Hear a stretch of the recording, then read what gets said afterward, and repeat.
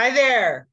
Next Friday starts Sunny Balwani's trial, and I thought it would be very helpful to take a look at the charges he faces.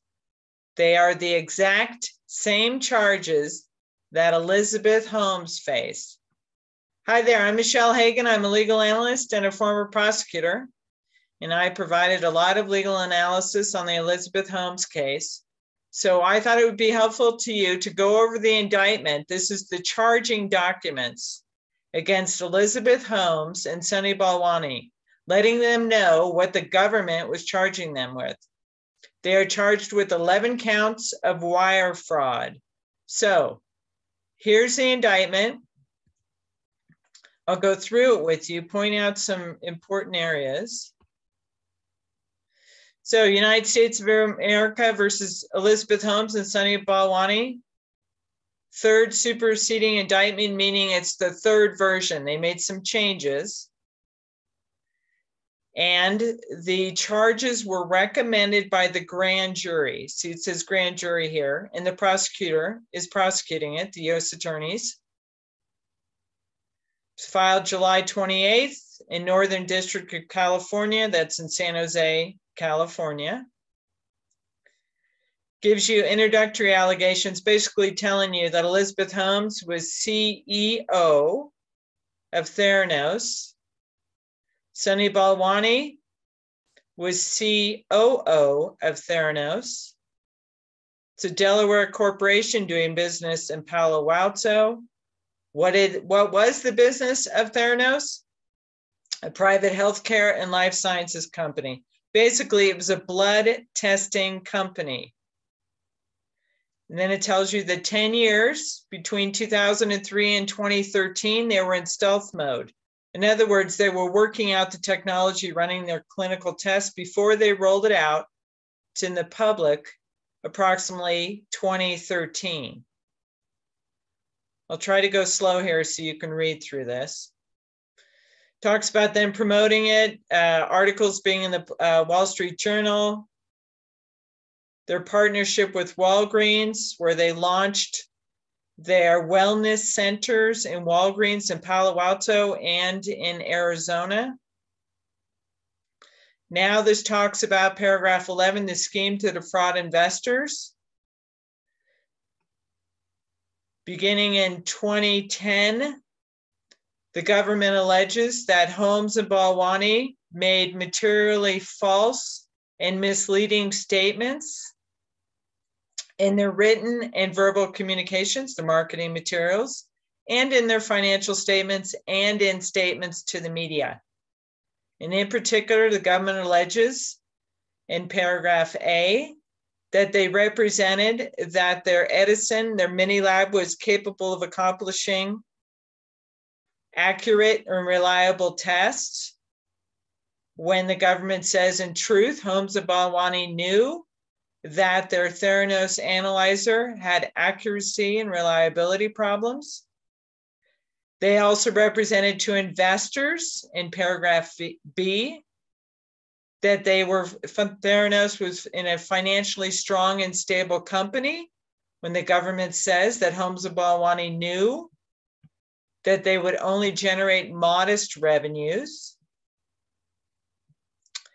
Then paragraph D, they deceived investors by misleading technology demonstrations. They basically gave fake demos to the investors. Paragraph D, they represented that they had an expanding partnership with Walgreens, when in fact, or in truth, the government says that Holmes and Balwani knew by late 2014 that the Walgreens rolled out had stalled. Paragraph E, they represented that Theranos had a profitable and revenue generating business relationship with the US Department of Defense, when in truth, the government alleges that Holmes and Balwani knew that they had limited revenue and the technology was not deployed in the battlefield. Paragraph F. Holmes and Balwani represented to investors that Theranos did not need the FDA approval when in truth, Holmes and Balwani knew by late 2013 the FDA was requiring Theranos to apply for clearance and approval of their analyzer and tests. Paragraph F represented that the investors, Holmes and Balwani represented that to investors that Theranos conducted their test on Theranos analyzers when in truth, and Balwani knew that Theranos purchased and used third party commercial analyzers. Paragraph H. Holmes Balwani represented to investors that Theranos technology had been examined, used, and validated by several national and multinational pharmaceutical companies and research institutions. When in truth, Holmes and Balwani knew that the pharmaceutical companies and research institutions had not examined and validated the test uh, technology. Paragraph H, And Balwani represented to members of the media many false and misleading statements, and they shared articles with the potential investors, both directly and via Theranos website, knowing these statements to the media were false and misleading. After receiving, paragraph 13, after receiving false and misleading statements, Holmes and Balwani know, um, it, Holmes and Balwani initiated electronic wire transfers for purpose of investing money in Theranos. In other words, they received all this money from investors who invested in Theranos. Then they talk about the prosecution is a scheme to defraud patients. Now, Elizabeth Holmes wasn't convicted of any of these charges.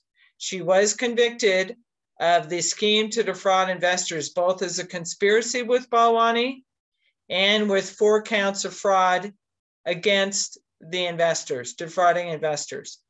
So, regarding the scheme to defraud patients, paragraph 14, between 2013 and 2016, Holmes and Balwani, through advertising and solicitations, encouraged and induced doctors and patients to use Theranos blood testing labs. They devised a scheme to defraud patients using marketing materials, advertisement, saying that Theranos technology was accurate, fast, and reliable, and cheap blood results and they made omissions concerning the limits and the problems with Theranos technology. Based on these representations, hundreds of patients paid Theranos and Walgreens acting on behalf of Theranos. Paragraph 16. Despite representing to doctors and patients that Theranos could provide accurate and fast and reliable and cheap blood tests, Holmes and Balwani knew through their involvement with day-to-day operations at Theranos and the complaints that they received from doctors and patients, that Theranos technology was in fact not capable of consistently producing accurate and reliable results. Holmes and Balwani knew that they couldn't provide consistent, accurate, and reliable results containing certain blood tests I'll let you go ahead and read all these different blood tests, everything from HIV to potassium to vitamin D, testosterone, etc. Paragraph 17, despite their knowledge of Theranos accuracy and reliability problems, Holmes and Balwani used electronic wires to purchase. One of the counts is re regarding their advertising campaign. So they used electronic wires. That's why it's a wire fraud case to purchase advertisements intending to induce individuals to purchase Theranos blood tests at Walgreens stores in California and Arizona. Again, they made all these statements. I'll let you go ahead and read all this regarding it being inaccurate and unreliable results, improperly adjusting reference ranges, improperly removed critical results, and results generated from improperly validated assays, the blood tests. Paragraph 18, knowing that they had accuracy and uh, knowing that the accuracy and reliability of Theranos test was questionable and suspect, Holmes and Balwani oversaw the electronic wiring and test results to several patients, including patients BB, ET, and ME. And I'll talk to you about that when we get to the counts. So, count one is a conspiracy to defraud investors. Elizabeth Holmes was found guilty of this. Sunny Balwani, what's his defense going to be on this? So, count two conspiracy to commit wire fraud against Theranos patients. Elizabeth Holmes was found not guilty of defrauding patients. Let's see what happens to Sunny. If you remember in the Elizabeth Holmes trial, she pointed the finger at Sunny Balwani regarding the patients. He was the one who was responsible for the lab.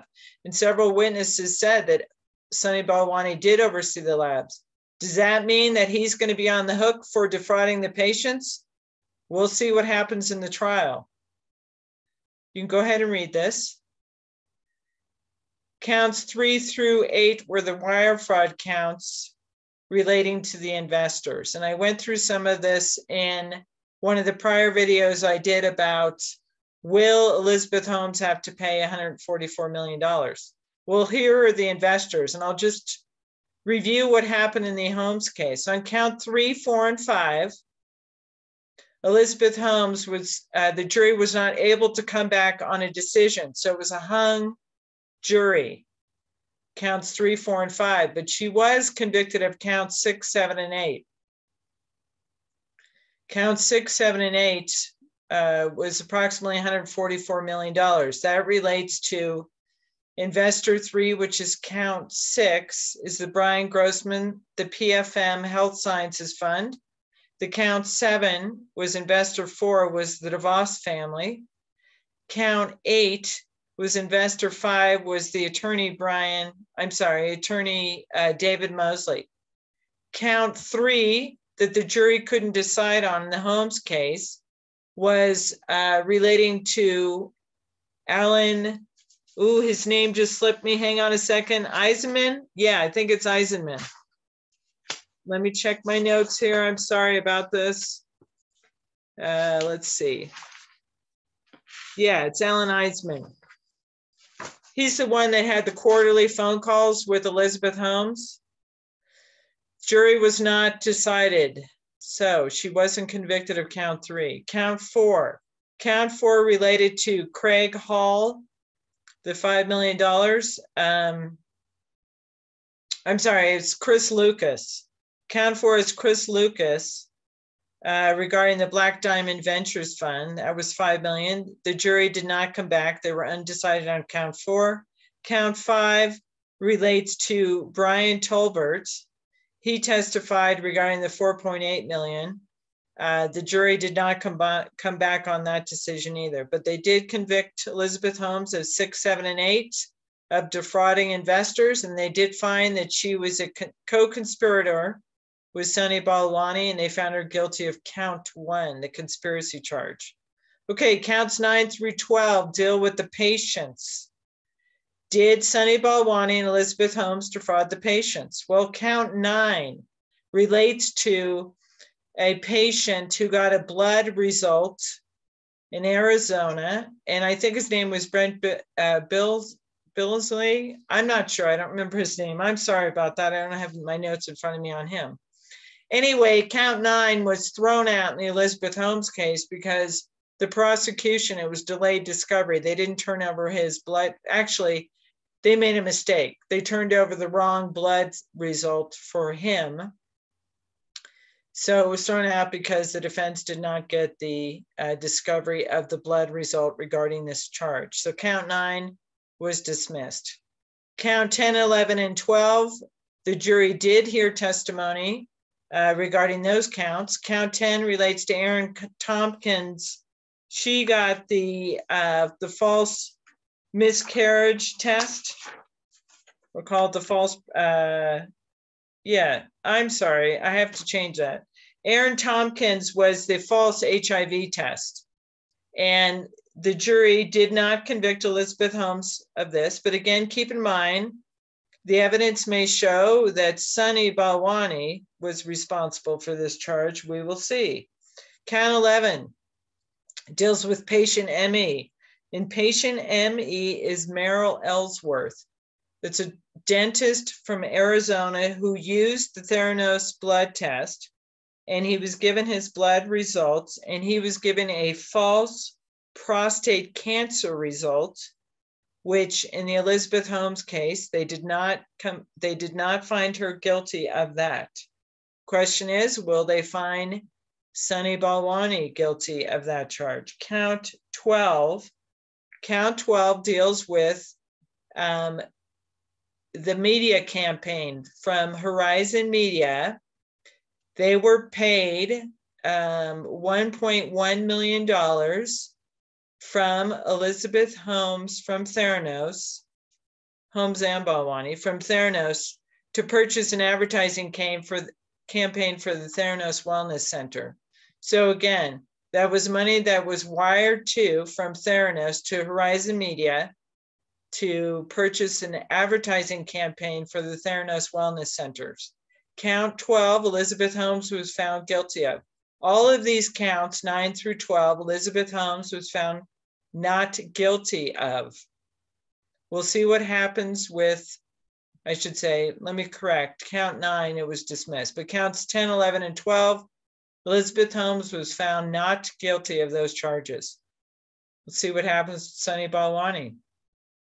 Okay, the forfeiture allegation relates to any proceeds that you get from committing fraud, you have to forfeit. That's basically what that says.